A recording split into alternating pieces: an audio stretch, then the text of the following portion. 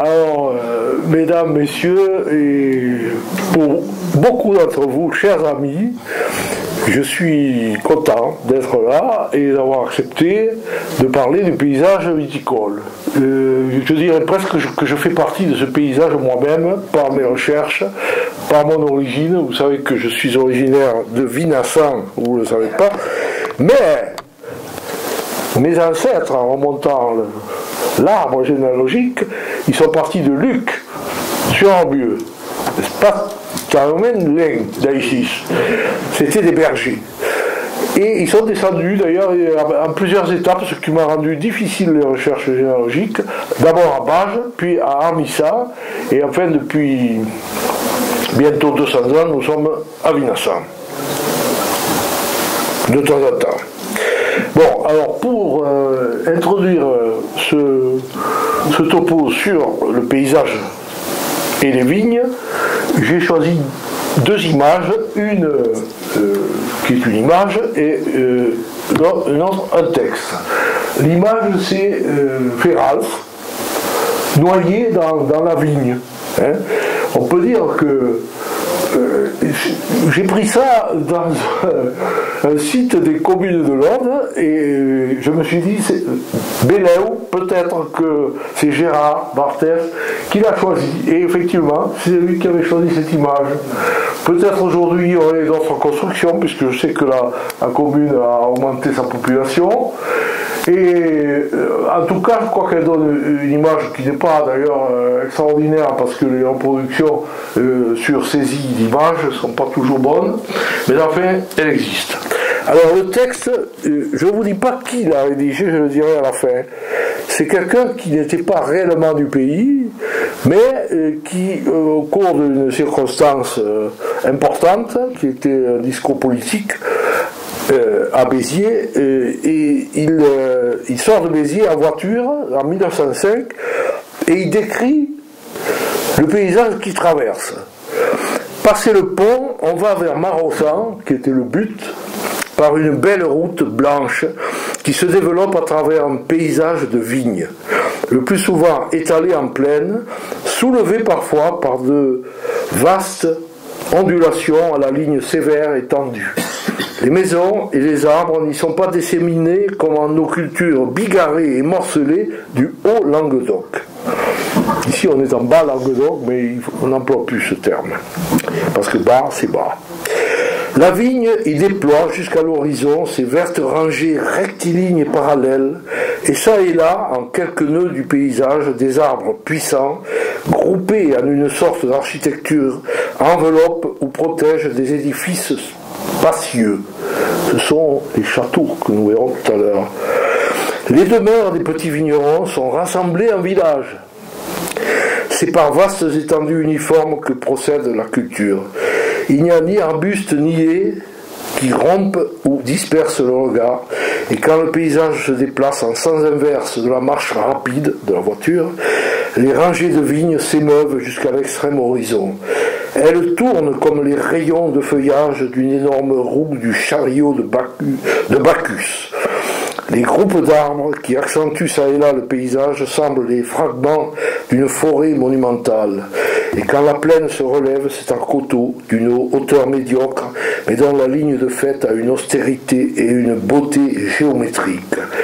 Ce n'est pas le piédestal capricieux d'un satyre dansant et agitant des grappes, mais le socle vigoureux de je ne sais quel dieu ardent et concentré qui absorbe et transforme en sa pensée la chaleur des choses et qui soumet à un haut idéal les forces effervescentes de la nature et de l'homme. Eh bien, ce texte est d'un certain Jean Jaurès, qui, au lendemain de la création du Parti socialiste SFIO, a tenu un grand meeting aux arènes de Béziers et puis s'est rendu à Marsan où venait de se déclencher le mouvement de la coopération. Et je sais qu'ici, euh, il y a des, coopérateurs fervents. Et il n'a pas inauguré la cave coopérative, mais il a, euh, si vous voulez poser la première pierre, ou en tout cas surveiller le chantier, et prononcer un discours en occitan admirable que j'ai euh, déclamé d'ailleurs à Marossan même un de ces jours. Bon, alors, euh, ceci aussi, c'est parce qu'actuellement, je travaille beaucoup plus sur Jaurès que sur la vigne, à proprement parler, même si je rencontre la vigne, puisque Jaurès a été un défenseur attitré, je dirais, des vignerons, notamment en 1907.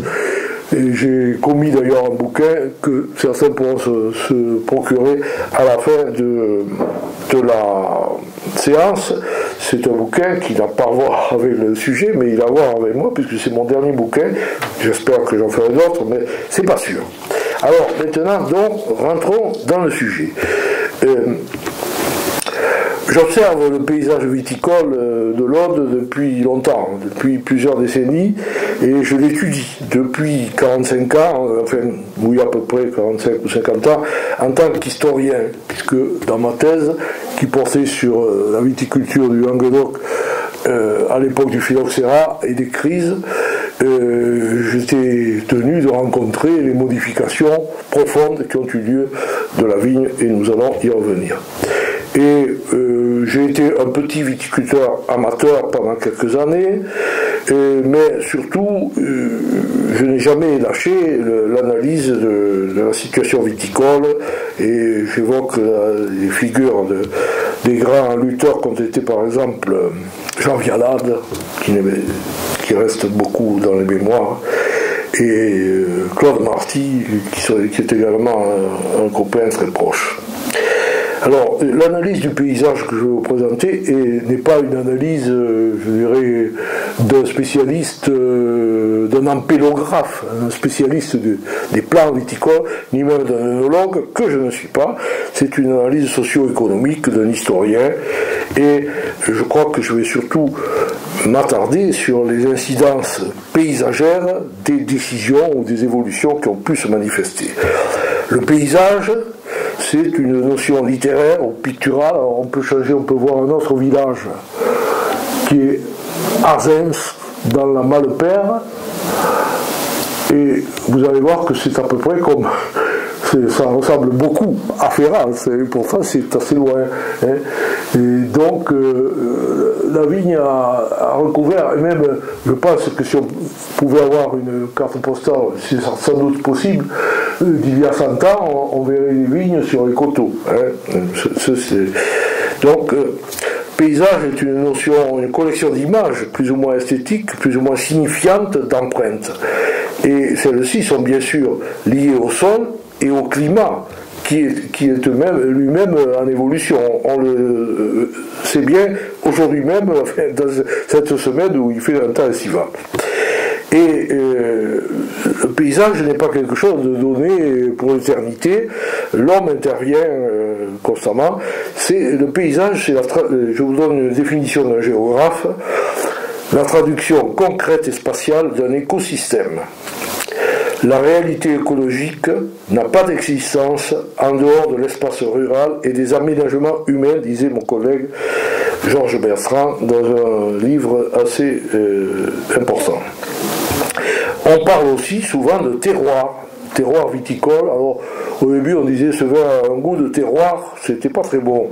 Mais maintenant, euh, on cultive cette notion de terroir parce qu'elle associe à la fois le sol, euh, le, climat, l'environnement, topographie, exposition euh, au soleil ou à d'autres facteurs, le vent, et euh, évidemment, le terroir est plus ou moins apte à la viticulture et euh, c'est le socle du paysage en définitive, le terroir, n'est-ce pas?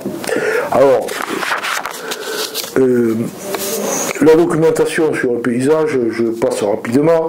Hein, on peut rechercher les noms de lieux, les toponymes. Hein, on trouve partout des mailloles, des, des etc. Et euh, moi, je me rappelle le nom des parcelles de ma famille, qui était euh, une petite propriété de 4 hectares euh, dans la plaine de Narbonne et de Coursan, et les, parcelles avaient des noms tous significatifs. Il y avait les salicornières, hein, on sait que le salicorne c'est une plante qui pousse dans les terrains salés. Il y avait les salanquettes, Hein, c'était aussi le sel qui ressortait. Et les saignes, euh, une saigne, c'est une noria. Hein. C'est une noria pour arroser et, adoucir un sol euh, ingrat, un sol. alors on trouve beaucoup de, de renseignements dans la seule toponymie. Oui. Merci. Euh, les documents commerciaux, bien entendu, euh, qui, donnent l'origine du, du, vin, ça aussi, ça peut varier, puisqu'on a, vu surgir des, euh, de, nouveaux noms. Je pense au cabardès, à la malepère, et disparaître d'autres. Par exemple, le mot Narbonne n'est plus employé pour le, vin, à ma connaissance. Hein euh, alors que avant 1914, dans les registres des négociants, vous avez les, vins de Narbonne, les Narbonne. Bon, bien sûr, les sources les plus fiables sont les cadastres, les compois, et euh, bien sûr, euh, au niveau national, on se réfère souvent à la carte de Cassini. Alors cette carte de Cassini dont je vais vous montrer quelques extraits, alors celui-là est celui qui recouvre tu cherches Ferraz, tu, peux le trouver tout en haut, à gauche.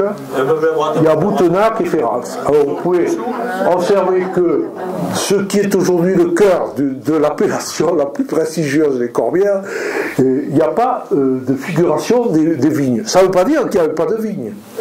On ne sait pas exactement. Il y a eu plusieurs articles sur euh, le travail des Cassini, qui sont une, dynastie d'origine italienne, qui a travaillé euh, pour faire euh, une carte de l'ensemble du royaume de France, et même plus, puisque la Savoie, par exemple, qui n'était pas française, enfin qui n'était pas sous la couronne de France, y figure. Et on ne sait pas pourquoi il, figure en vigne un terroir. Euh, il figure les bois et les vignes généralement. Mais euh, vous voyez, entre Fabrezan et Camplot, quand même, on voit très bien que c'est euh, une couverture viticole. vers Ville-Rouge, qui s'appelle non pas la crémade, mais la panouse, parce qu'il devait y avoir un, seigneur la panouse qui régnait à ce moment-là. Et puis, donc, vous voyez que sur la carte de Cassini, qui est donc euh, dans les années 1770-1780, euh, il n'y a pas trop de vignes dans les corbières. Hein. Euh, enfin, ce n'est pas, en tout cas, une, culture dominante. Alors maintenant, on va prendre une autre carte, qui est celle de Carcassonne. Hein. Alors là, vous voyez, bon, l'état de Marseillette qui est figuré comme un état, hein, qui n'était pas encore euh, asséché et exploité en vigne, mais vous avez quelques vignes tout autour de cet état, et euh, surtout, euh, plus on va vers le nord, vers Périac, là nous avons une couverture très importante. Et nous avons aussi, autour de Carcassonne, c'est-à-dire au sud-ouest, beaucoup de vignes autour de, autour de la ville. prenons la troisième carte qui est le Narbonnais. Et vous allez voir également, alors là ça a été, vous pouvez trouver ça dans le, comment ça s'appelle Dans le géo Géoportail. Géoportail. Géoportail. Dans le géoportail, vous pouvez trouver toutes les cartes de Cassini que vous voulez. Et c'est passionnant de plonger dans ce passé qui n'est pas tellement lointain. Alors, vous voyez qu'autour de Narbonne, bon, toute la plaine, elle est soit marécageuse, soit cultivée en blé. Et euh, Vinassan, notamment, il n'y a pas de vigne Vinassan. Par contre, il y a des bergeries qui sont indiquées. Et, puis, euh, vous voyez le, mot 14, hein, qui est une. Narbonne est euh, peut-être la seule commune de France qui a trois appellations sur son territoire la Clappe, les Corbières le 14.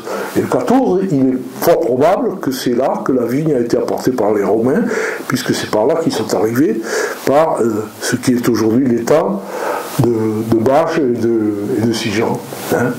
Alors, donc, vous avez là le repérage d'un terroir qui est le terroir euh, des, villes ou autour des villes, et puis le, Minervois où on voit beaucoup euh, d'implantations qui s'explique peut-être par la présence du, du, canal du Midi, qui passait au, bas de, cette région du, Minervois. Alors, on va euh, maintenant entrer peut-être dans le détail et voir comment les, sites viticoles dans l'Aude ont été fixés au départ. Donc,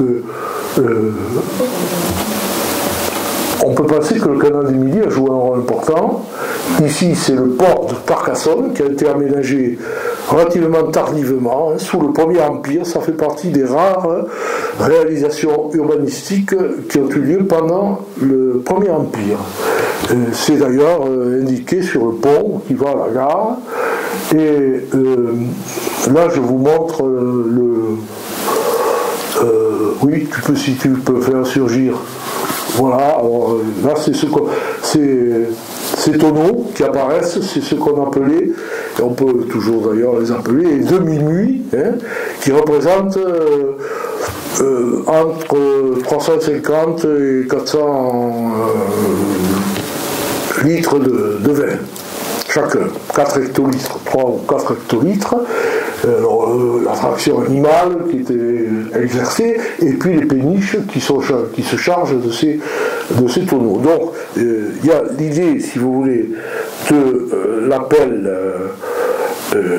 extérieur au, terroir de production, la vente commerciale finalement, qui a, commencé très tôt. Alors les études qui ont été faites à Narbonne, par exemple, par Viala et par Larguier, Larguier mon collègue euh, Gilbert, ont mis en évidence que dès le XVIIe siècle, il y avait entre 14 et 15% des compois, des cadastres à l'époque qui étaient cultivés en vigne, et que pour l'autoconsommation, avec 5%, ça aurait suffi. Donc, il y avait 10% en trop qui étaient euh, commercialisés, qui étaient commercialisés à l'extérieur de euh, Narbonne même si euh, il y avait des petites parcelles cultivées pour l'autoconsommation.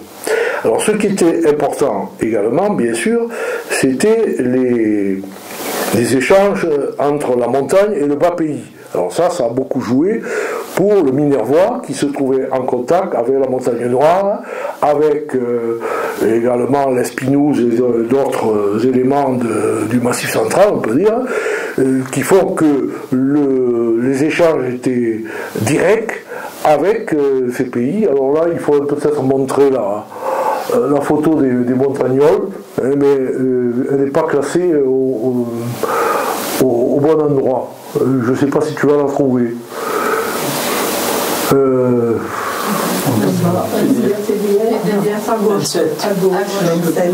je me rappelle plus où je l'ai mis. Voilà, c'est ça.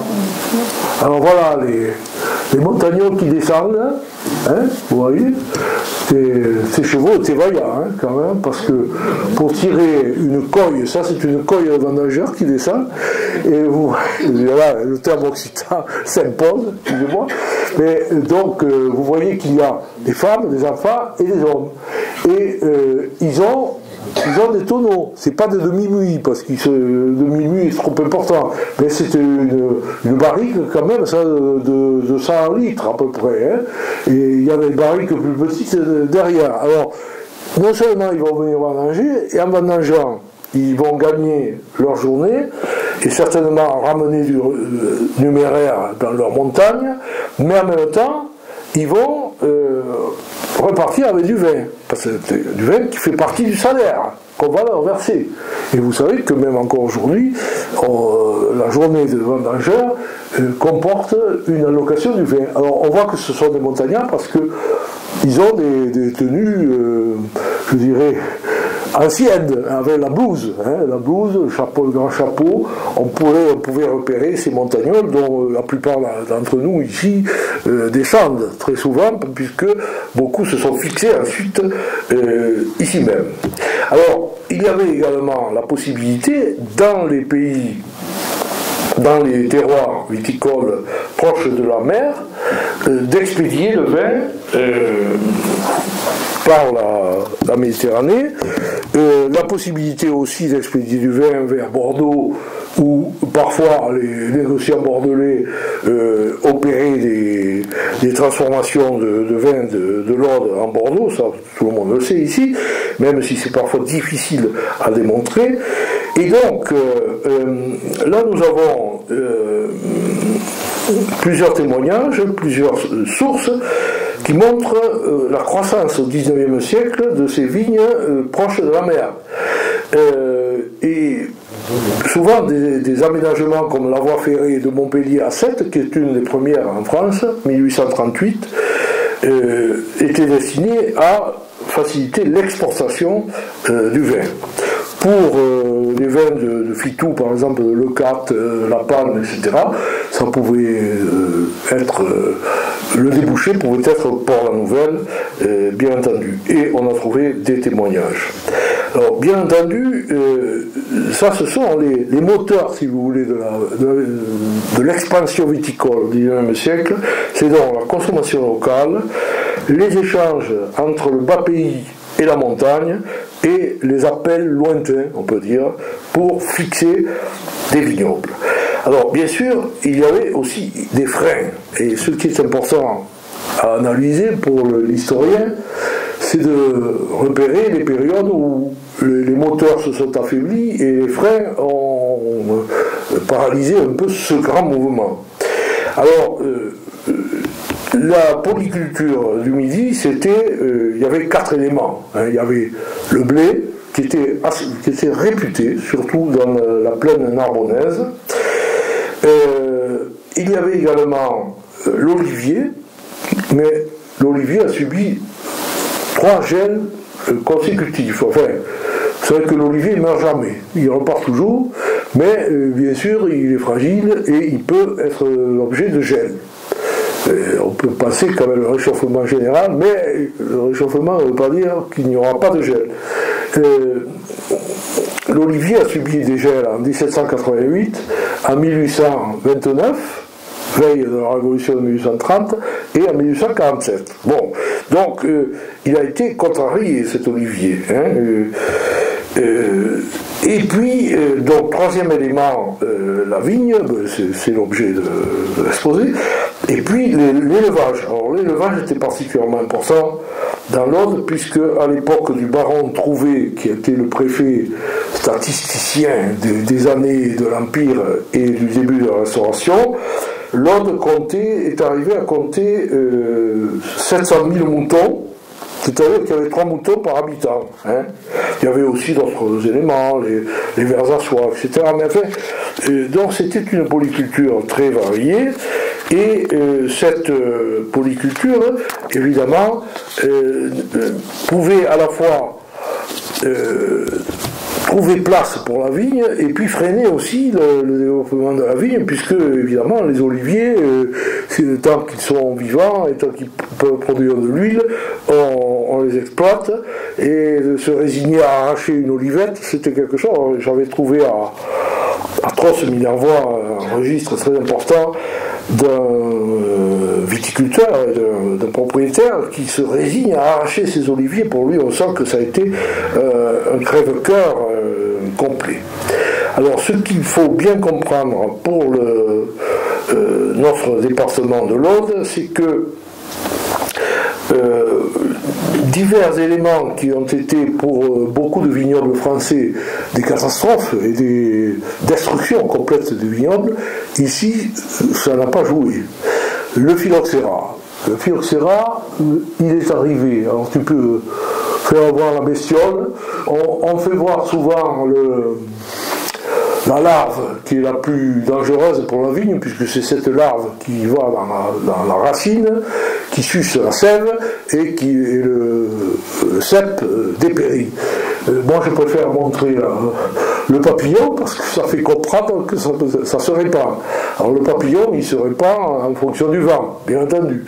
Et ici, il a été apporté, euh, évidemment, par le, vent marin, le vent d'est, qui pouvait venir de l'Hérault et, propager le phylloxéra. Mais ça a été très tardif. Le phylloxéra commence dans le Gard en 1861 il n'arrive dans l'autre qu'au début des années 1880, période où on a déjà trouvé euh, ce qu'on peut appeler le remède, c'est-à-dire le greffage sur le plan américain, et euh, également dans l'ordre des possibilités pour aménager euh, des, des terroirs réfractaire phylloxéra. Alors, il y, a, trois. Ça, c'est euh, une énigme euh, relative. C'est un vignoble qui se trouve euh, sur la route de Fontfroide en partant de Narbonne. Je pense que c'est. c'est puits, puisque ce sont des puits. Mais il devait y avoir des conduites d'eau et des tentatives d'apporter de l'eau pour noyer le phylloxéra et l'éliminer. Bon, qui, n'ont pas réussi généralement. Ensuite, il y a eu le greffage, n'est-ce pas? Euh, Bien. En tout cas, ce qu'il faut comprendre, c'est que ce décalage de 20 ans a permis l'accumulation de capitaux qui ensuite ont pu être injectés à la fois dans l'aménagement des basses plaines et aussi dans le greffage, c'est-à-dire que la monoculture a été encouragée par la période du phylloxéra. Bon, là j'avais euh, mis aussi quelques images euh, euh, aussi sur le milieu, ça m'a permis d'évoquer M. Gallet, qui a été un grand ampélographe. Alors, donc, on peut prendre la 13, la photo 13, qui est pas loin d'ici, hein, Boutonac, et où nous avons euh, si vous voulez, trois éléments qui apparaissent, même quatre. Hein, hein. Bon, tout à fait en haut de la, photo, c'est la garrigue, on peut dire, hein, avec euh, divers euh, éléments, des pins, des cystes, peut-être quelques oliviers abattardis qui se blottissent là-haut. Ensuite, vous avez ce qu'on appelle ici les failles, c'est-à-dire des, parcelles longitudinales qui ne pouvaient être exploités pratiquement qu'à la main, ou peut-être avec un mulet, une miole, mais en tout cas qui ne se prêtait pas à de la grande culture. Hein. et on voit que la faille, qui est tout à fait en haut, hein, elle est plantée, euh, comme on dit, en foule, c'est-à-dire qu'il n'y a pas de rangée euh, fixe. Bon, par contre, dans le fond de la vallée, nous avons ce que décrivait Jaurès dans son texte fameux, euh, les, rangées bien alignées et euh, les souches certainement en gobelet, mais je ne me rappelle pas s'il y avait des fils par contre, à droite, c'est certain, il y a deux choses. Il y a d'une part les espaliers, si vous voulez, ou les, fils qui soutiennent les cèpes, et, donc ça donne déjà un paysage différent. Et puis, on a laissé l'herbe pousser. C'était une, image qui date quand même d'une vingtaine d'années.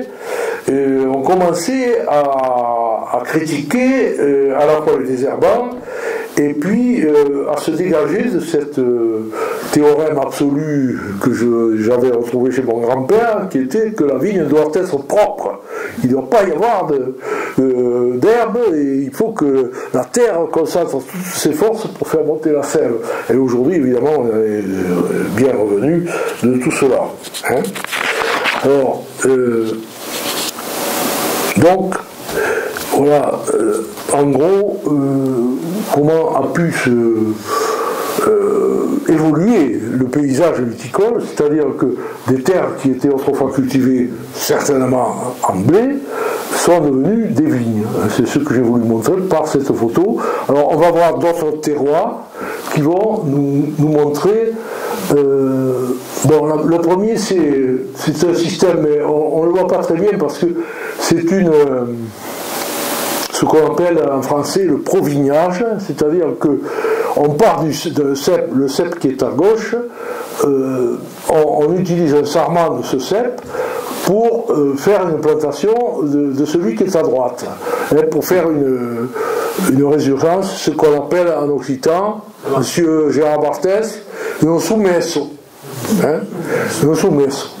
Et alors, il vient un moment où on coupe le, le sarment, évidemment, quand la, nouvelle vigne a, trouvé son, autonomie.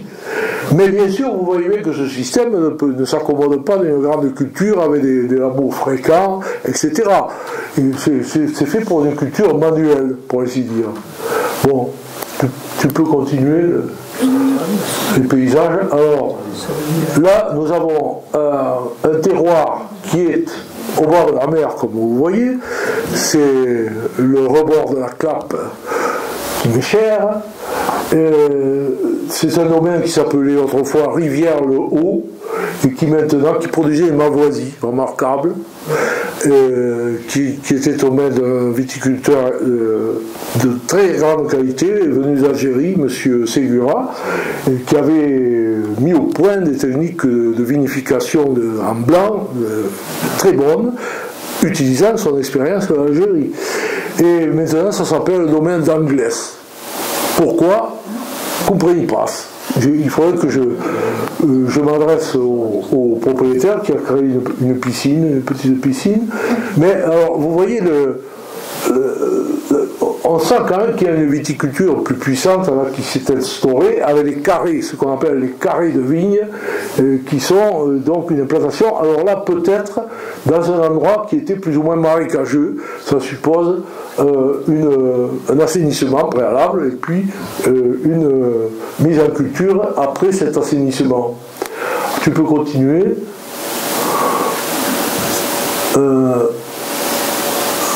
Alors ça, c'est pas très loin de, de Rivière-l'Eau. C'est le, terrain de Rouquette qui s'appelle Rouquette-sur-Mer aujourd'hui et où vous voyez des grands des grandes parcelles euh, cultivées. Et la clappe qui est derrière avec euh, peut-être des, vignobles abandonnés euh, sur, les, sur le flanc des coteaux. Tu peux continuer. Alors là, là nous avons une vigne toujours au bord, sur le rebord de la clappe à Fleury, à Moyau, Moyau qui se. voyez les plantes salées, les sénils, hein, les sénils,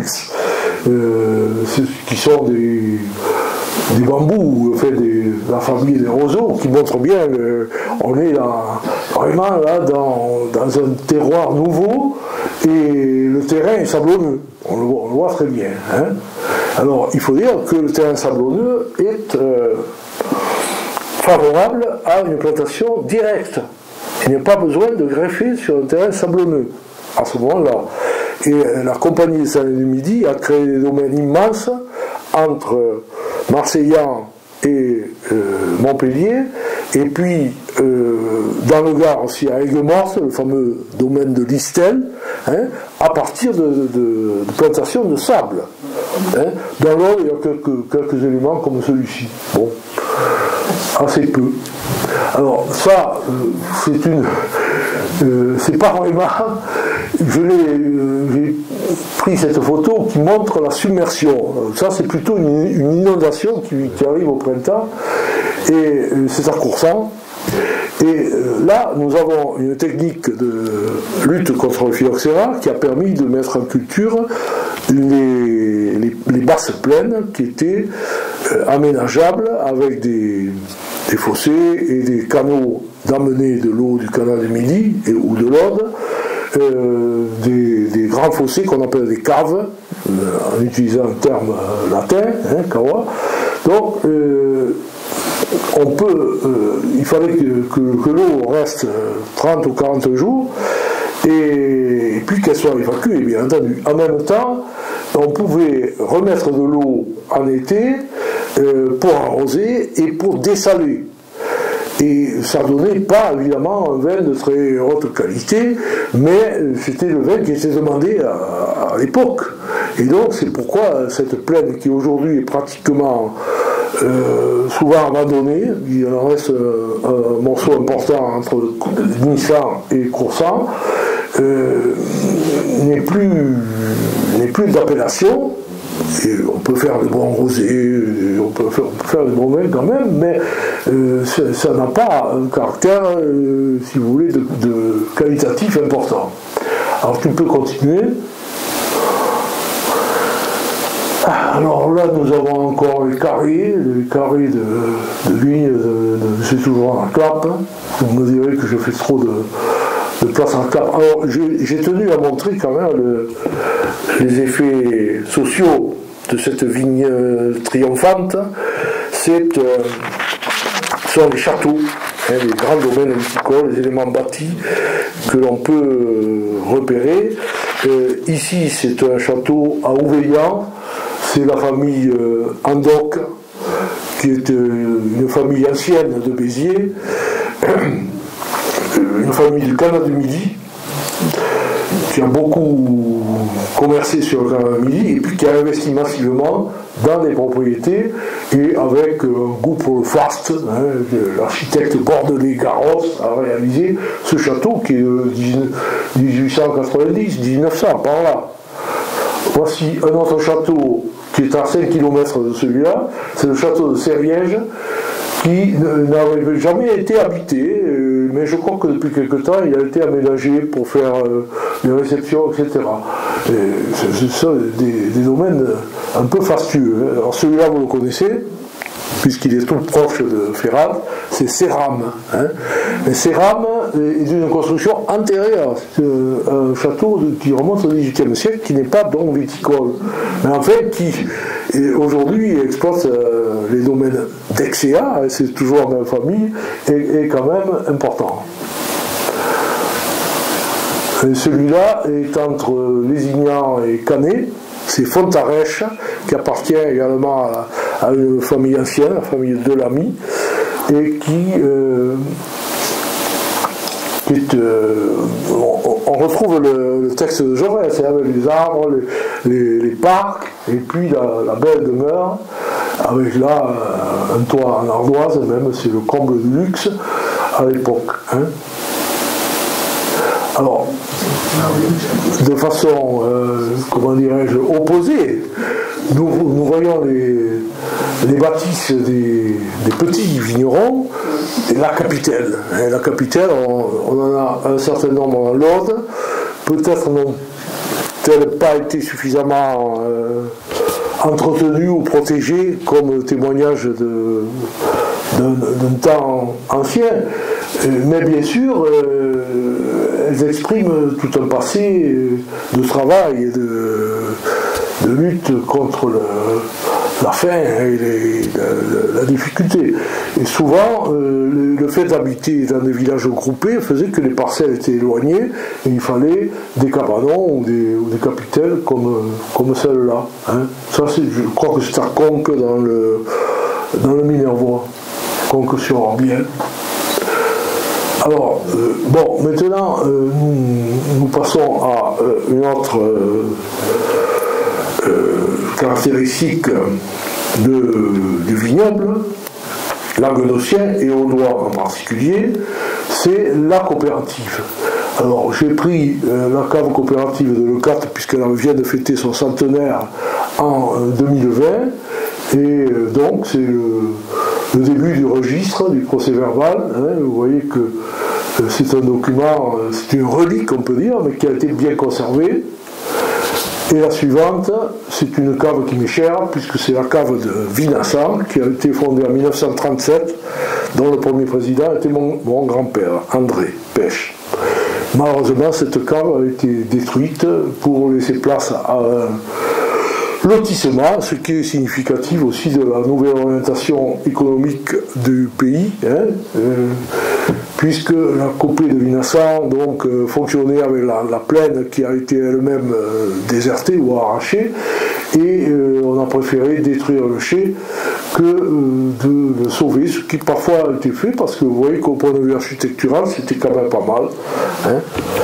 Donc, tu, peux, continuer. Alors, je crois que là, là j'ai mis quelques images euh, montrant le, travail de la vigne et aussi euh, le, comment l'objectif essentiel qui était de produire beaucoup à ce moment-là. Hein. Alors ici, nous avons la réclame, la publicité, si vous voulez mieux, d'un souffrage avec euh, dilué dans l'eau. Hein, le soufrage à l'hydrate, bioxyde de cuivre, sauve le raisin. Alors, et on insiste sur le fait que euh, cette photo a été prise une année où il y avait justement beaucoup de mildiou. Hein. Alors l'utilisation d'une dame pour vanter ce produit merveilleux, vous voyez que c'est pas du tout ce qu'aujourd'hui euh, c'est le vin bio, c'est le, vin naturel ou le vin nature qui sont euh, mis en avant, et ce n'est plus du, tout cela. Alors on, peut continuer.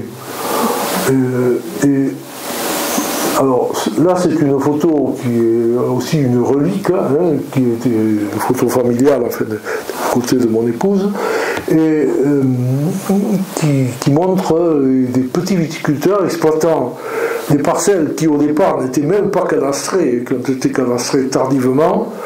Et vous voyez, je crois que c'est assez intéressant euh, au point de vue, euh, comment dirais-je, ethnographique, parce qu'on voit le, travail à la comporte de la vendange avec les, les, barres qui permettaient de prendre de sortir les comportes qu'on appelle les palses. Hein, pas sémalier, la comporte c'est le sémal.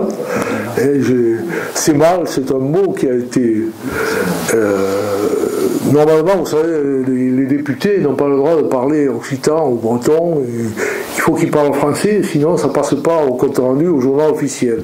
Eh bien, dans les années 30, il y avait un vigneron du Lot-et-Garonne qui s'appelait Renaud Jean il a parlé de la sémale. Il a dit J'ai tiré la sémale dans le Biterrois.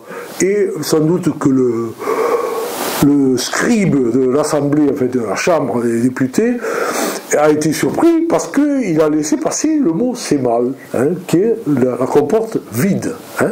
Quand elle est pleine, on dit est un coustal, c'est plus un sémal. Hein.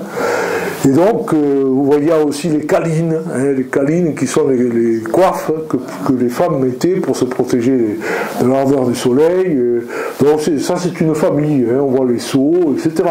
C'est un travail. Et là, nous sommes sous la falaise de Lecat. Hein. Aujourd'hui, vous ne trouverez pas de vignes euh, entre la Franquille et le Plage. Il n'y a, plus de vignes. Mais en fait, c'est un témoignage, un vestige. Alors par contre, euh, ici, alors là, la photo pas bonne. Hein. C'est intéressant quand même parce que c'est un propriétaire dans la plaine narbonnaise, Arnaud. Euh, on voit qu'il était, comment dirais-je, déjà euh, médiatisé, puisqu'il publiait des documents en disant demander le tarif, échantillon gratuit, etc. à mon fils, et il, publiait cette photo pittoresque d'une vandage où là, euh, nous n'avons pas les, comportes, nous avons les tombereaux, hein, et euh, on peut être surpris d'ailleurs de, voir utiliser une technique qui est surtout en vigueur dans la région de Montpellier ou du Gard, c'est le sémalou c'est la petite comporte que les ouvriers portaient sur le, euh, sur le dos, sur le, sur le cou. Euh, il fallait être costaud et, vous voyez qu'ils avaient des, sacs pour amortir un petit peu le choc. Enfin, euh, voilà. Donc, une viticulture qui, qui était fondée essentiellement sur la main-d'œuvre nombreuses qui pouvaient être euh, euh, recrutées sur place euh, ou temporairement par l'afflux des vendangeurs que nous avons vus tout à l'heure. Alors ici j'ai mis également quelques images sur la vie qui pouvaient se, manifester. Ça c'est à Fleury. Hein. et là, j'ai des membres de ma famille, mais ça ne vous intéresse pas. Bon, c'est, je trouve intéressant de voir le mélange, euh, parce que euh, on pourrait repérer les gens qui jouent aux bourgeois, hein, qui sont souvent d'ailleurs en tête, devant, et avec des, nœuds papillons, etc. Enfin bon, ça va pas très loin. Et puis surtout les femmes et les enfants euh, figurent euh, devant le bistrot, hein, qui, a pour titre hein, le café du progrès. Hein. C'est intéressant de voir qu'il y a cette référence au progrès. Et puis une euh, épicerie à succursale, la ruche du Midi, qui était assise, dont la maison mère était à Béziers. Mais là, on est dans à Fleury, alimentation. Et donc, l'image de village très peuplé, et avec cette convivialité des cafés euh, qui n'a pas disparu, mais qui est différente aujourd'hui et beaucoup plus individualiste. là, on a, vraiment une vie collective qui s'exprime. Alors ça aussi, ça fait partie du paysage de la vigne. Alors ici, une photo médiocre, mais qui, est euh, à la Franquie, au mois d'août. Alors vous aviez les, vignerons des Corbières qui descendaient à la Franquie et qui établissaient des campements avec leurs chariots, vous ils, se couchaient, après ils avaient des, toiles, euh, ils faisaient des tentes euh, rudimentaires qui leur permettaient de passer quelques jours la mer. Hein. Donc il y a dans cette population euh, viticole laborieuse, dans cette période estivale où les travaux de la vigne sont ralentis ou interrompus avant les vendanges, il y avait la possibilité de prendre un petit peu de bon temps au bord de la mer. Et je crois que c'était euh, aussi une, chose à évoquer euh, dans cet exposé. Euh, bon, alors ensuite j'ai marqué la conscience d'une civilisation de la vigne. Je crois que ça, c'est, ça s'exprime pas les, les manifestations, enfin les, monuments qui ont été édifiés. Alors celui-ci est très célèbre, c'est le monument de Étienne Planchon, qui est euh, professeur euh, à la faculté de pharmacie de Montpellier. C'est lui qui, après divers voyages en Amérique et diverses études, et au départ c'est un pharmacien, hein, c'est pas euh, un énologue, c'est lui qui a mis au point le greffage sur plan américain qui a été au départ fortement combattu par notamment les euh, producteurs de sulfure de carbone euh, les chimistes qui euh, ont tenu à injecter du, sulfure dans les pieds de vigne pour sauver la, vigne ancienne, la vigne dite française, et alors que Planchon a compris que c'était le plan américain et le greffage qui allait sauver la vigne. C'était pas évident, parce que c'était le plan américain aussi qui a amené le phylloxéra. Alors, le vigneron qui remercie Planchon, c'est aussi quelqu'un célèbre, c'est le peintre Frédéric Basile qui a été tué à la, guerre de 1870 et qui était le voisin euh, de la propriété de Planchon et de Basile, était le voisin euh, dans les faubourgs de Montpellier. Ce sont des, domaines euh, urbains, ou péri-urbains. Donc, deuxième photo, alors, qui est très mauvaise, mais enfin, c'est à Argelier, la statue du vendangeur. Vous en avez une à Boutonnac aussi, si on n'a pas bougé, elle doit y être.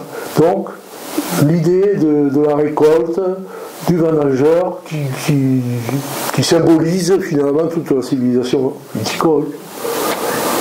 Ensuite, ah non, ça, c'est encore du Cassini, où un copain avait euh, figuré à chaque fois qu'il y a le mot bergerie, il avait mis une tête de mouton. bon, non, c'est fini. Et il n'y en a plus. Bon, alors, donc, euh, il est évident que euh, je suis allé très vite pour ne pas vous lasser. Et euh, je vais donc maintenant répondre à vos questions. Je, peux terminer en vous citant une phrase de Colette, écrivain célèbre, qui n'était pas euh, étrangère à la vigne, puisque dans son pays d'enfance, dans son Berry, il y avait quelques vignes, et elle a écrit Seule la vigne nous rend intelligible ce qu'est la vraie saveur de la terre. Ce sera ah oui, alors j'avais oublié celle-là, ce sera en conclusion, mais c'est plutôt cette photo. Alors ça, c'est ce qu'on. C'est un lien, je demande à René, est-ce qu'elle existe encore Non, elle, a été certainement enlevée euh, au moment de, de, la récupération du bronze, mais je ne sais pas si elle était réellement en bronze. Alors, vous avez là un terme occitan, la caponado. Alors, qu'est-ce que c'est que la caponade Eh bien, ça, euh, bon, euh, les, anciens savent ce que c'est. Euh, donc, dans une cogne de vendangeur, évidemment, on peut oublier les raisins et il y avait un petit rituel qui se produisait, c'est-à-dire que les, hommes qui, tiraient les seaux ou les comportes lorsqu'il trouvait un raisin dans une rangée oubliée par une, jeune fille aimable, il les avait, enfin c'était admis qu'il puisse écraser quelques grains de raisin sur la figure de cette fille et, lui demander un poutou. C'est ce qui se produit sur cette photo. Alors je crois que c'est une belle photo parce qu'elle exprime la joie de vivre et, bon, alors maintenant je pense que les, féministes euh, un peu, un peu excessifs qui, sévissent parfois aujourd'hui se demanderaient la suppression de cette statue, mais puisqu'elle n'existe plus, ils ne peuvent pas demander la suppression. Et, les bains douches derrière qui expriment aussi le euh, caractère social des, municipalités qui étaient conscientes de, la nécessité de faire progresser l'hygiène dans des, dans des classes souvent pauvres, misérables. Voilà, bon. Merci.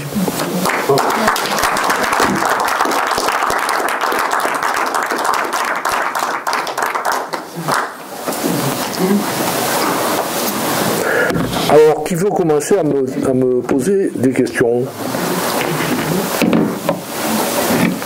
Bon, il faut que je regarde ça quand même.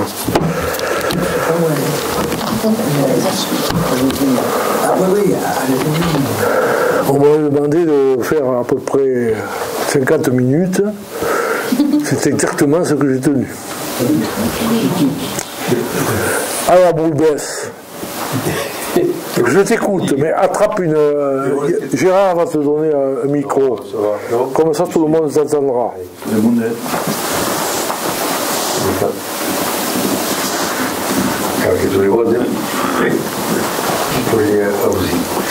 Oui, tu, tu euh, au, fil du, de ton intervention, je pensais à l'importance euh, incroyable qu'avait le vin en général dans la population. Pas seulement dans le, Absolument. les pays viticoles. D'abord, il y avait de la vigne un peu partout, dans tous les, toutes les régions de France. Et le vin était vraiment non seulement la plus saine et la plus hygiénique des boissons. Consommé avec modération, disait Pasteur. Et, et, ça avait une importance absolument considérable. Euh, les, soldats, par exemple, de la guerre de Ah oui, le quart de vin. Le, le pinard, c'est. Pendant la guerre de 14, ça a été. C'est grâce au pinard que, bon, le poilu. C'est essentiel. Et il y a quelque chose que je voulais. A gagné. Euh, je ne sais pas s'il y a des études qui ont été faites. J'ai toute mon enfance dans les vignes aussi, comme toi. Les gens du Midi faisaient du vin, mais n'en buvaient pas tellement. On ne se, saoulait pas au vin dans le midi, sauf exception. Il y avait toujours dans le village quelques sous patentés, mais ce n'est pas les consommations euh, abusives qui se faisaient en Bretagne, dans le Lyonnais, dans les montagnes aussi, etc. D'accord. Il me semble. Bon, euh, il faut rappeler donc que le vin était une boisson hygiénique. C'est-à-dire que nous sommes dans une époque où l'eau était suspecte de véhiculer un grand nombre de bactéries, etc. Et vous savez qu'aujourd'hui, d'ailleurs, euh, les maires sont euh, prudents et ils mettent eau non potable sur les fontaines, des fois, ou eau non contrôlée. Aujourd'hui, on le voit, je ne sais pas, à Ferrand, comment tu as fait, Gérard, mais enfin, c'est une angoisse encore d'avoir des, maladies véhiculées par l'eau, alors que par le vin, euh, à part justement abus de, ce vin, il n'y a pas, il n'y a pas lieu de, craindre le vin en tant que tel. Euh, dans les cafés, on, servait très peu de vin. On servait des apéritifs, des, pastis ou des, des, euh, quinquinats de type du bonnet, etc. Et euh, il n'y avait pas une, grande. Et, on ne buvait pas de vin en dehors des repas. Le, vin était une, boisson de, repas qu'on donnait aux enfants. Euh, à partir de 8 ans, mélanger avec de l'eau. Hein. Et je pense que moi, personnellement, j'ai bu du vin à partir de l'âge de 8 ans. Je ne pense pas que être devenu alcoolique pour le moment. Mais peut-être que ça va venir. On buvait du vin au réfectoire. Euh, à l'école normale. Oui, et on passe pas bout. Hein. ne cassait rien, et puis on, a, on accusait l'intendant de mettre du bromure euh, pour. Ah oui, ça c'était, oui. je sais pas. Mais enfin, en tout cas, il n'était pas très bon. Mais cette tradition de ne pas boire du, vin dans les cafés, ça a, continué longtemps, parce que moi, dans ma jeunesse. Très longtemps, oui. Il y a que maintenant qu'on trouve un peu de vin blanc, de, euh, même les cafés. Euh, absolument. Par, habitude, du vin, c'est fou. Même si la qualité a augmenté. Oui, oui, oui, c'est sûr. Bon, mais quant à la qualité de, notre vin, il, était euh, suffisant, surtout le, vin produit ici, dans les corbières dans la meilleure voie, il n'avait pas besoin de coupage, il pouvait être exporté tel quel, tel quel. Euh, malheureusement, euh, les appellations, tout le travail qui a été fait à partir du moment de la création de l'INAO en 1935, et puis avec les gens sur place, hein, il faut rappeler que justement tout à l'heure j'évoquais la mémoire de Vialade, ça a été un des premiers à faire du vin biologique et à adopter des cépages améliorateurs comme Grenache, Syrah et compagnie. Donc, ce qui permettait de justifier aussi de se battre pour maintenir la civilisation de la vigne.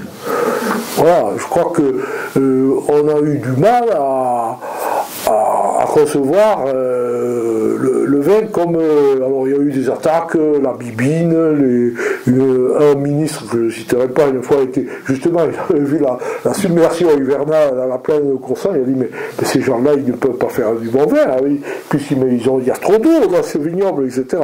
Il a fallu que le préfet lui explique que quand même, pour lutter contre le phylloxéra, il fallait mettre de l'eau, un petit peu d'eau en hiver. Voilà. Donc il y a toute une, bagarre qui s'est faite sur la qualité et qui finalement a, qui a fini par payer, mais qui a fini par payer pour une petite minorité qui sont ces jeunes viticulteurs que nous soutenons toujours évidemment par le fait que nous consommons du vin et par le fait que nous savons que le paysage de la vigne doit, être maintenu. Et on voit bien actuellement avec les effets de la sécheresse et du changement climatique que la vigne est quand même quelque chose, euh, une culture qui résiste, qui résiste euh, beaucoup mieux que certains arbres, et ne parlons pas aussi des, euh, céréales, etc. Hein. Et j'ai trouvé dans des, périodes de grande sécheresse aussi au XIXe siècle, au, milieu du XIXe siècle. Moi, moi euh, c'est vrai que le micro, là, deux secondes, euh, Rémi, moi été sensible à, la fin où tu signales la civilisation du, du de, la vigne. de la vigne et du vin, avec tout ce que ça implique concernant euh, le, rythme même de, la vie. C'est-à-dire que euh, dans, les communes et même les, les petites villes comme Lézignan, euh, la vie était marquée par la temporalité dont il y avait euh, la période euh, évidemment sacrée des vendanges, mais il y avait euh, les, périodes de, de la taille. bon, et euh, ensuite, euh, la, vigne nécessite une solidarité euh, extraordinaire qui a été quand même une des bases de ensuite des conséquences peut-être politiques et tout concernant le, le viticole. Bien sûr. Et, ça apparaît assez bien dans, dans ce que tu présentes peut-être qu'un jour il faudra aller encore plus là-dessus parce que c'est, cet enracinement-là, il est fondamental. Bien sûr, il faut, il faut garder ce sentiment de solidarité. Le, rythme de la vie est, dicté par les travaux de la vigne. Hein. Par exemple, la rentrée des classes, euh, elle était un peu théorique euh, quand elle a été avancée. Au départ, c'était le 1er octobre. Généralement, le 1er octobre, les, vendanges sont parfois finies, mais pas toujours. À ce moment-là, on avait une tolérance de rentrer un peu plus tard. Et moi, je me suis fait remonter les bretelles quand je suis rentré à Normal Sup par le patron qui m'a convoqué dans le bureau, qui m'a dit comment ça se fait que vous arriviez avec 15 jours de retard? Mais je lui ai dit mon papé, comment il fait pour rentrer sa récolte? C'est pas possible. Il m'a dit pour cette année ça va, mais l'année prochaine il faut que vous soyez là, vous soyez là le 15 septembre. Bon, j'ai réalisé que c'était pas possible, c'était pas exportable ce, genre de, euh, pratique qui, résultait de la vie euh, telle qu'elle pouvait se, déployer. Mais bien sûr, vous avez vu les bains douches, mais il y avait aussi des salles de conférence, des salles de réunion, le cinéma est arrivé, etc. Donc tout ça, cette vie collective, ce sentiment d'appartenir à des communautés, qui avec évidemment les petites rivalités de clochers entre Ferraz et Luc, entre Vinassan et Armissan, bon, qui s'exprimaient aussi sur le stade euh, dans les équipes de rugby. Et, tout ça, c'était un petit peu, euh, je dirais, dominé ensuite par l'appartenance à une collectivité qui était la collectivité des vignerons et qui avait aussi euh, à diverses périodes dans l'histoire, su se regrouper pour faire les, manifestations les plus gigantesques qui ont eu lieu dans la campagne française, 1907, hein, mais aussi 1976 et puis euh, d'autres périodes. Et, je crois que ça, euh, évidemment, ça peut parfois déraper et déboucher sur des drames comme justement 1907 et 1976. C'est par hasard. ça résulte de l'incompréhension des, gouvernants qui n'ont pas su faire face à un de colère euh, particulièrement profond et exprimé collectivement. Mais euh, ce que ça a de positif, c'est que ça, a soudé aussi la population. Et ça, aujourd'hui, évidemment, l'économie a tellement changé, elle est beaucoup plus recentrée sur le tourisme et sur les euh, activités urbaines tertiaires, comme on dit, l'administration, etc., que on, perd un peu de vue ce ce ressort de, la vie humaine qui est important. J'ai une question. Est-ce qu'il y a eu des. Madame non, mais il faut, il faut lui donner une. Ah, merci. Est-ce qu'il y a eu des études sociologiques ou socioculturelles sur le. Je suis en train de penser, moi, à ma propre famille, euh, mon arrière-grand-père, du coup qui avait des vignes mais qui n'étaient pas vignerons en fait. C'était, c'était comme si moi aujourd'hui j'avais euh, finalement une maison secondaire, un poulailler. Euh, c'était normal quoi. Tout, tout, beaucoup de gens avaient des vignes, travaillaient d'ailleurs la vigne, mais n'étaient pas vignerons. Nous on avait des vignes effectivement dans la famille, mais on ne se qualifierait pas de vignerons. Est-ce que ça aussi ça n'a pas influencé aussi Oui, oui, il y, a eu des études sociologiques importantes à, l'université de Montpellier, euh, autour de l'école d'agriculture de Montpellier, notamment Boulet et euh, je me rappelle le prénom et, pas le nom, ça, revient tout le temps. il y a toute une école euh, de, sociologie et même les économistes de Montpellier, le professeur Millot par exemple, étaient très attentifs euh, au terrain social hein, et en expliquant ça. Mais bon, des, ouvrages de, souvenirs comme ceux que vous évoquez, il y en a, il y en a plusieurs, hein, notamment Chalet dans, dans le Gard. Euh, et puis dans des, pays euh, en Bourgogne, en Bordelais, euh, il y a également beaucoup de, travaux qui soulignent cet aspect humain qui est fondamental pour la vigne. Merci. Oui, moi je voulais te faire évoquer peut-être justement un peu le temps de la déprise puisque maintenant on est dans ce fameux, voilà, entré depuis un certain temps, dans ce temps de la déprise. Alors déprise au niveau social, mais déprise aussi au niveau paysagère. Au niveau ah, notamment, tu l'as évoqué, la disparition par exemple de beaucoup de caves coopératives, de bâtiments qui ont beaucoup été détruits, mais aussi de transformation euh, en cours du paysage. Tout à fait. Alors concernant les bâtiments, je, je dois rendre hommage au Ferralé, après une période délicate où la cave a été finalement squattée et abîmée, ont euh, opéré une opération de renouveau, appuyée d'ailleurs sur une solidarité dépassant le village. Je crois, c'est ça à peu près, euh, Gérard, que j'ai suivi euh, quoique sans le, voir de, près. Bon, mais cette déprise que tu, que tu évoques, alors ça c'est une lacune de mon exposé, c'est sûr que j'aurais pu euh, insister, mais ça m'aurait demandé des recherches que je n'avais pas le temps de faire, sur euh, la situation actuelle où nous voyons ressurgir l'olivier, par exemple. Ah Et alors là, l'importance, ça a été la création de la coopérative euh, oléicole de Bise, hein, l'Oulibo, qui a été créée en pleine euh, période noire, pendant l'occupation et qui aujourd'hui est un foyer de renouveau parce qu'elle permet à de petits oléiculteurs de se positionner, d'apporter leurs petites récoltes et de produire de l'huile qui, est vivement appréciée.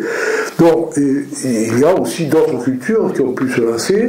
Euh, je pensais au riz par exemple dans le Narbonnais, hein, qui est le riz euh, aujourd'hui euh, qui connaît un boom des prix extraordinaires parce qu'il y a eu les des inondations du Pakistan, de l'Inde, qui font que euh, le, cours mondial du riz a subi une, grande euh, augmentation. Et bon, peut-être que c'est quelque chose. Euh, je crois que dans l'état de Marseillaise, il y a un producteur de riz également. Donc tout ça, c'est peut-être encore à l'état en gestation, mais le paysage, évidemment, se modifie. Alors ce qui est évidemment décevant, c'est que souvent, c'est la friche qui domine, et on voit des vignes abandonnées, c'est pas, c'est pas, c'est pas, c'est pas concluant, quoi. et ça, ça, dépend aussi des, euh, de la force que peut avoir la solidarité entre euh, paysans de refuser cette, cette évolution mauvaise en récupérant des, parcelles abandonnées et, ou en les attribuant à des jeunes qui veulent euh, redémarrer, etc. Bon, je crois que des expériences comme ça sont faites euh, et l'expérience de, aussi du, du, lien direct, de la vente directe aux, touristes euh, qui aujourd'hui est de l'œnotourisme, ce qu'on appelle l'œnotourisme, qu'on trouve dans les sites, si vous faites des sites de, plusieurs domaines, de plusieurs cas coopératives, vous voyez que l'œnotourisme est quelque chose qui se lance. Et euh, bon, moi, une, copée que je suis assez près, c'est-à-dire la copée de Le4 aujourd'hui, euh, arrive pratiquement à vendre la moitié du, vin qu'elle vinifie directement. Donc en, évitant les, intermédiaires qui chaque fois pompent évidemment une partie du profit. Et la cave de Gruissin aussi. Euh, Et la cave de Gruissin, chère à notre ami euh, Codorniou, Codor était évidemment importante. Alors, la cave de Gruissin, elle, est emblématique, tu as raison, hein, puisqu'elle elle est implantée au cœur d'un quartier touristique. Et pendant très longtemps d'ailleurs, il n'y avait aucune, euh, aucun travail de fait pour cette mise en, rapport direct euh, avec, avec le touriste qui, bon, allait acheter un cubité d'air, un peu comme ça, et alors que c'est quelque chose qui peut être un vecteur de, prospérité, en tout cas de, euh, vie digne localement. Mais c'est moins facile dans mes hautes corbières où où par exemple la topographie est plus complexe, où la mécanisation n'a pas pu arriver, où les, villages sont vidés en même temps que la vigne est partie.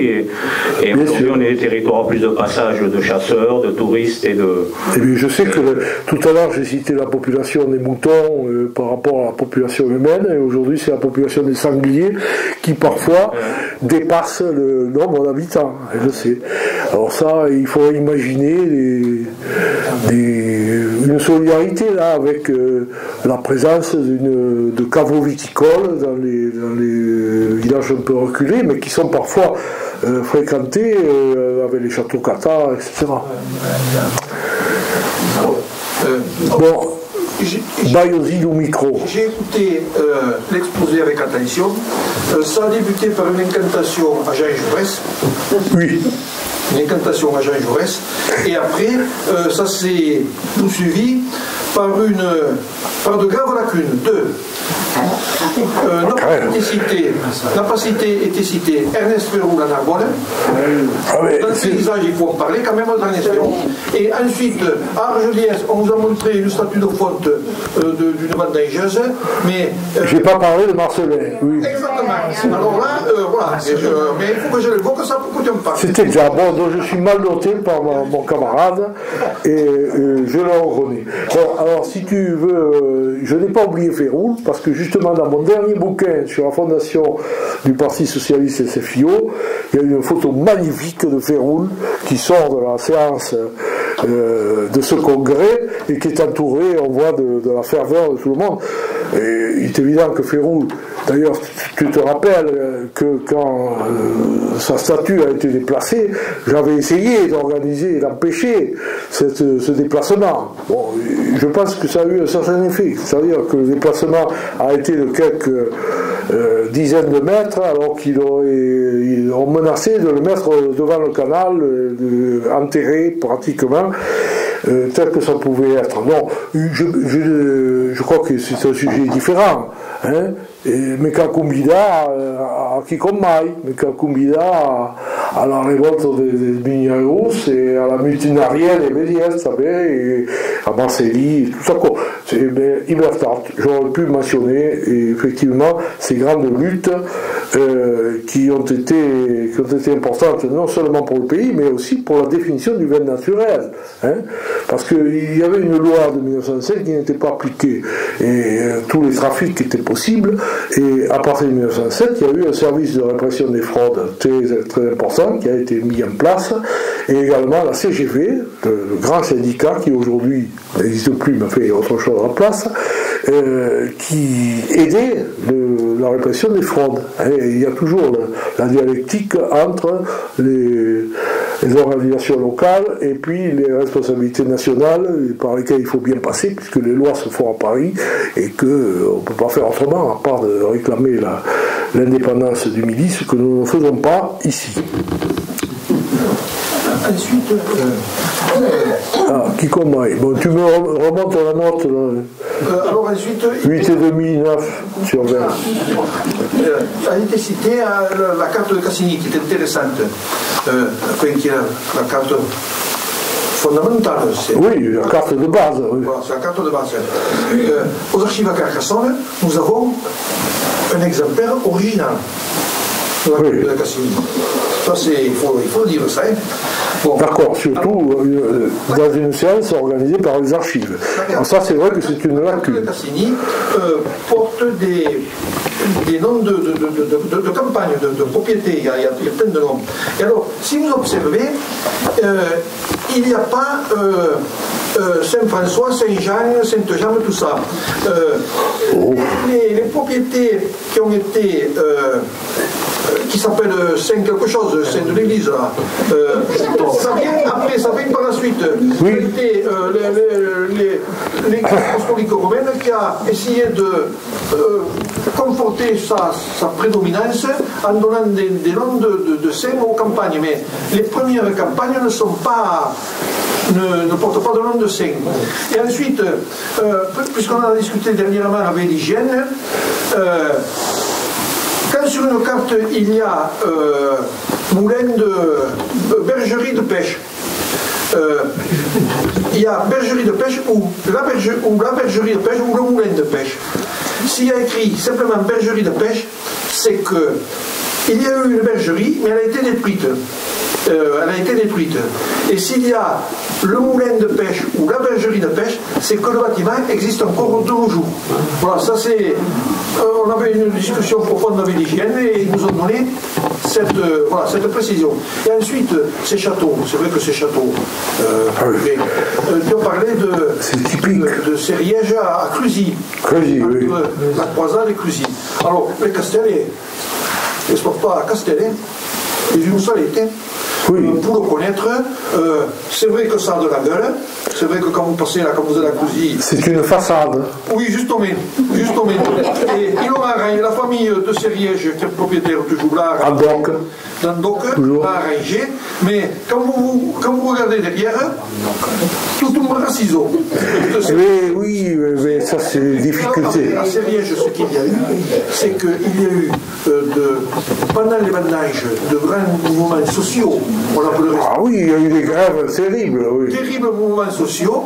Et, euh, Jaurès est intervenu d'ailleurs. Jaurès est intervenu et là-dedans était partie prenante euh, euh, de, dont les hommes euh, Turel. Turel, oui. Turel, dont les hommes et de Moncet. Adolphe. Était partie, était partie prenante puisqu'un sous il avait acheté Sériège. Voilà, euh, c'est qui est à côté. Oui, à la maison, qui est ministre des Travaux publics. Exactement. C'est lui qui a signé le, a signé le décret pour le métro euh, à Paris. Donc il n'a pas été totalement négatif quand même.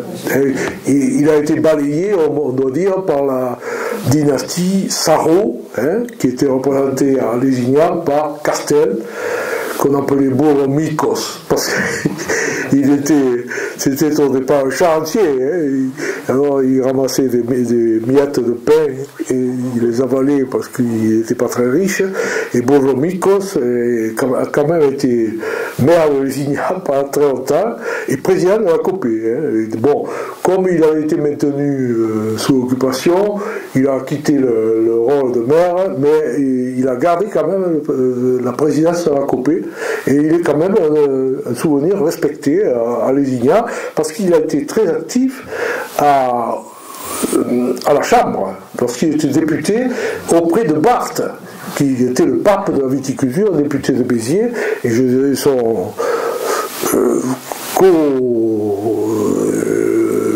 co-législateur, c'était c'était c'était euh, c'était Castel, c'était. Euh, je cherche le prénom de Castel qui ne me vient pas, mais enfin bon, c'est pas grave. Léon, Léon, Léon, Léon c'est ça. Merci. Ce qui est intéressant aussi, c'est de voir pendant les vendanges, en période des vendanges, des festivités qui étaient euh, faites pendant la période des vendanges. Ah, il y avait le. Les repas qui se faisaient dans les vignes, tout ce côté euh, euh, humain de, des fêtes liées aux vendanges, les repas, les... Bon, jusqu'à il y a quelques décennies où, on avait les Espagnols, et c'était encore donc les Espagnols, plus d'autres, hein, des, qui venaient, des Anglais qui venaient. Ah, même encore à cette époque-là, toutes les manifestations qui se faisaient entre vendangeurs et tout. Quoi.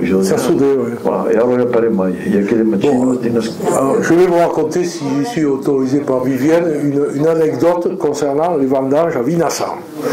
Avec mes copains, nous organisions le bal des vendanges. On avait un tourne-disque, un pick-up, on faisait payer 50 centimes, c'était à l'époque, c'était les vieux francs, et euh, donc on faisait un bal. Et euh, il se fait que la pénurie de, danseuses était importante euh, dans les années 60. Alors, c'était quand même embêtant. par exemple, dans ma classe, on disait la classe 44, il y avait 10 garçons, une fille. La pauvre, Mimi, vient de décéder il y a quelques semaines. Et alors, on se posait la question comment on va faire? Alors j'ai eu une idée. C'était d'aller au château de Céléran, qui est entre Vinassa et Coursard et Saledon, pour euh, voir le. Je savais qu'à Céléran, il y avait tout un village andalou qui était transplanté tous les ans avec euh, peut-être une centaine d'ouvriers et d'ouvrières qui, qui vendageaient le domaine de Céran, qui était un des plus importants. la cave euh, représentait 20 000 hectolitres. C'était une très grosse cave. Elle est aujourd'hui pratiquement en ruine. Bon, alors, on va voir, disons, le responsable qu'on appelait El Jefe, et on, le baratine avec le peu d'espagnol qu'on pouvait avoir de l'école de, Narbonne, de cité, mais euh, mon meilleur copain était d'origine espagnole, et ça, alors on lui explique que ces, filles peuvent euh, venir danser à Vinassan, qu'elles ne risquent rien, que nous sommes euh, de bons garçons, buenos mozos, etc. Bon, alors, oui, vale, à la fin, il est d'accord, et le soir, on va attendre sur la route à côté la cave coopérative que vous avez vue, on va attendre les filles. Et on savait qu'il y en avait une dizaine qui devaient venir. Et on voit arriver un groupe assez compact, c'est-à-dire, ah ben, il y en a 20 ou 30 qui arrivent, on ne va pas pouvoir les faire avancer tous, c'est pas possible. Mais en réalité, c'est que les mères avaient suivi pour surveiller les filles, Voilà, bon, ceci dit, euh, les filles ne risquaient rien à ce moment-là. Et alors, avec le, reliquat du bol de vendanges, parce qu'il fallait payer, on allait payer à la SACEM, hein, à Narbonne, on payait un temps qui absorbait une grande partie de la recette. Et puis quand il en restait un petit peu, on allait manger à Grissan, notamment chez Garouste, ou à Le carte chez la vieille euh, Jouve, une petite bouillabaisse qui était bien méritée finalement. Alors tout ça, ça faisait partie de, de, la vendange et on y tenait. Il fallait qu'on soit fort parce que euh, on, la salle du bal à minuit. Euh, à peu près, et puis à 7 h du matin, à tal, euh, à la rangée, à, couper des raisins ou à porter le gap la haute, etc. C'est effectivement quelque chose que les, jeunes aujourd'hui peuvent avoir du mal à, imaginer, mais euh, évidemment c'est ça qui faisait le tissu social qui tenait et qui était capable de résister à la fois aux crises euh, viticoles qui pouvaient survenir et aussi euh, qui permettait aussi de, fédérer, d'absorber les nouveaux venus qui, qui s'implantaient. Bon, il y a eu plusieurs vagues, hein, les, Espagnols, quelques Italiens euh, aussi dans les villages. Euh, aussi, on a eu des réfugiés de Filocera, des gens qui venaient à Vinassan, il y a deux familles qui venaient du Gard qui, ont fait souche, c'est le cas de dire à Vinassan. Et puis après, il y a eu les pieds noirs, etc. Et ça, c'est un processus d'acculturation et d'accueil euh, qui est euh, un peu enrayé, quoi, qu'on ne peut pas euh, ressusciter comme ça. Alors il faut le remplacer par autre chose, le ciné-club par exemple, ou d'autres initiatives. C'est vrai, qu'il y a des trucs inoubliables. Quand dans les années 60, bon, parce qu'il a fait chaud, comme tu disais, on faisait la sieste, et après la sieste, il y avait ciao Oui. Bon, du vin, du sucre et du pain mélangé. Oui. Euh, je ne sais pas qui maintenant. Bon, ça, Coca-Cola. Ils boivent tous du Coca-Cola. On n'était pas sous, mais ça se faisait après la sieste. Voilà. Il y a une loi contre le Coca-Cola qui a failli être votée dans au début des années 50, rapportée par le professeur Paul De Montpellier, et elle n'est pas passée. Mais j'ai assisté à une, à une manifestation anti-Coca-Cola à parce qu'en même temps, le Coca-Cola était le symbole du capitalisme américain, et la, voiture du Coca-Cola, parce qu'il y avait la, caravane publicitaire du Tour de France, ils ont stoppé, les Corsanais ont stoppé la, voiture du Coca-Cola, et ont cassé des bouteilles, etc. Et alors, chose incroyable, mon papy, mon grand-père André, le fondateur à copie de Vinassan, qui était avec moi, et il me regardait faire, il n'est pas intervenu, mais j'ai dit, mais c'est d'empêcher ça quand même, ça peut pas. Ah non, non, ils font bien, ils font bien, laisse faire. mais euh, bon, le Coca-Cola n'était pas un concurrent direct du, vin, mais enfin, Chorchol, c'est quelque chose aussi, c'est sûr. Bon. Ben, écoutez, je vous remercie tous de votre attention et de votre euh, gentillesse pour un vieux prof. Et vive le vin. Vive le